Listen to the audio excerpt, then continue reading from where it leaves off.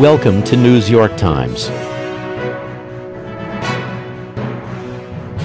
Please subscribe for more recent breaking news update. Melania just made first appearance in two weeks and got brutally attacked for what she said to her haters. Melania Trump has been recovering from a surgical procedure she received at the Walter Reed Medical Center to help her with a kidney issue. President Donald Trump spent many days visiting his wife. She finally returned home to the White House and her critics and fans alike have wondered where she's been. Since she just had a surgical procedure, it's likely that she was simply resting and having some downtime. Perhaps she's uncomfortable and relaxing. Perhaps she's busy working on something important. Regardless, the critics have gone after her from the moment she returned from the medical center and they keep going after her now. People want to know why they haven't seen Melania Trump in a few weeks.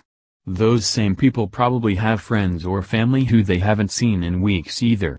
However, since the First Lady hasn't felt like spending every moment in front of the mainstream media, the media now assume there's something going on and they begin speculating all sorts of weird conspiracies. While some people craft their story about where Melania has been, there are others who have broken down her tweets and now believe Donald was tweeting for her. Click here to sign card and show you stand with Roseanne.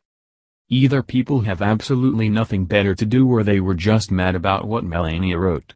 Perhaps people were so bothered and bitter over Melania's tweet that they wish Donald had said it.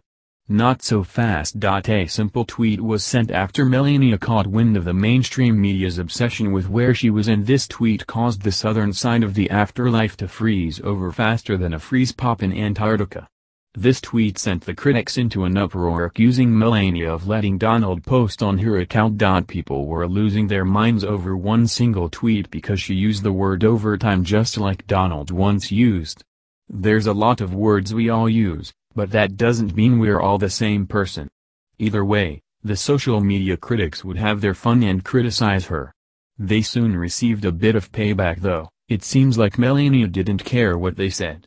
She posted a nice update to let people know she's well and working, but of course, that's not ever good enough for the people who simply hate her existence in the White House. Mirror wrote this, Melania Trump has finally acknowledged her disappearance after weeks out of the public eye with a tweet but questions are already being asked over who actually wrote it.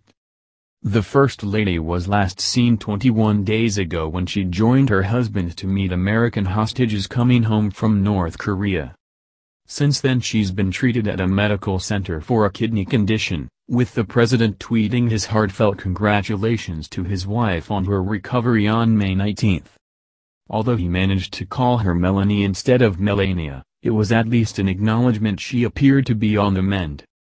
Yesterday, some 11 days later, a message was posted on Mrs. Trump's Twitter profile. Thanks for watching. Please subscribe for more top breaking news updates.